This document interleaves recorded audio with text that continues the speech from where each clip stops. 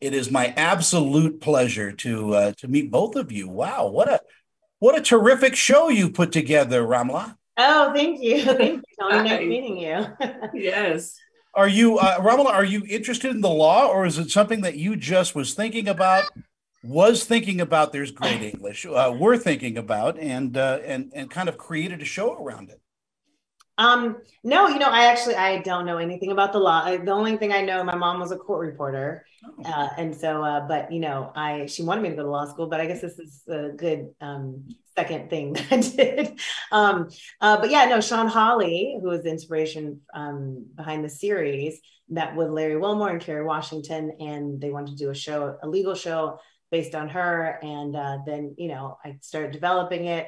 Um, Shawn uh, such her legal mind is incredible. The way she deals with her clients, how she, you know, that how she relates and how she sees, sees the law is very much like Jax's character. But um, personally, Shawn is very different and and not as messy and and and uh, you know, and so I added all those kind of elements to create the drama and the sexiness and the soap. Um, and you know, I was very blessed to have Yahtzee uh, embody that role so beautifully. Emayatzy is one of the most interesting names I think I've ever heard in my life. Uh, is there a specific meaning to it? It's it's my dad named me. My dad's from Panama and my mom is from Ohio. And there's this tale of this princess in Panama. So he took that name with my grandmother's name and made Emayatzy. Oh, it's such a beautiful name. And and Thank you.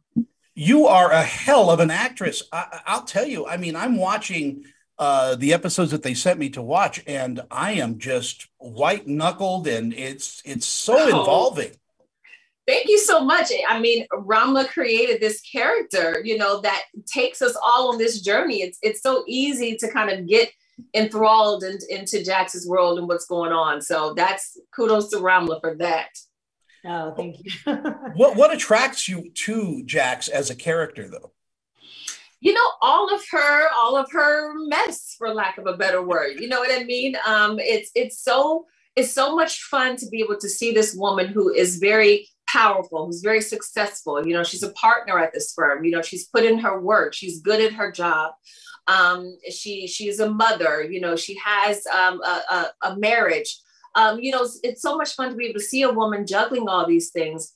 But then you see the cracks and you see the little the, the the blind spots and the spaces where maybe she's she's kind of dropping things you know mm. because that's life that's what we all experience and and we get a chance to go on that journey with jax and see what happens as a result of that to see what happens when she she hits this wall and she's forced to face some of the things that are now falling through the cracks uh, Raamla, it must be a joy to, to you know keep your association with Kerry Washington. I mean, after Scandal and uh, what a what a brilliant show that is, and you brought that brilliance to Reasonable Doubt.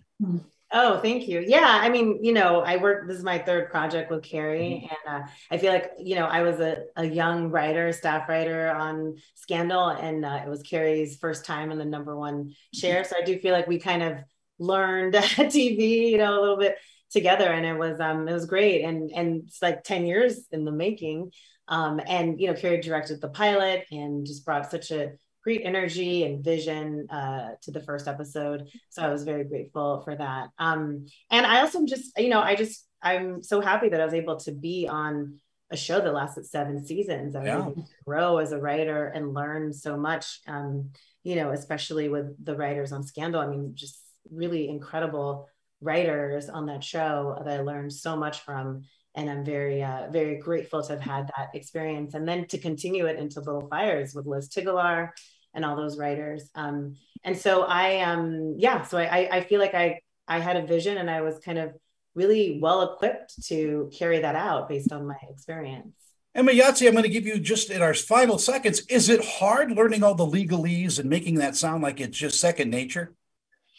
Um, no, because when you have good writing, it's so easy to memorize lines and things like that. It, it, it, really makes a difference. You know, it's when it's not good, that's when it's like, I can't quite remember this line. So no. oh well. Thank you guys so much. What a great show. I, I'm I'm I'm just praying that audiences will will fall in love with it like I did, but we're going to give it a good send off. We're going to oh, let people you. know about it. Thank you, Tony. Thank you so much. It. Yes. You guys. Have a wonderful Bye. day. You too.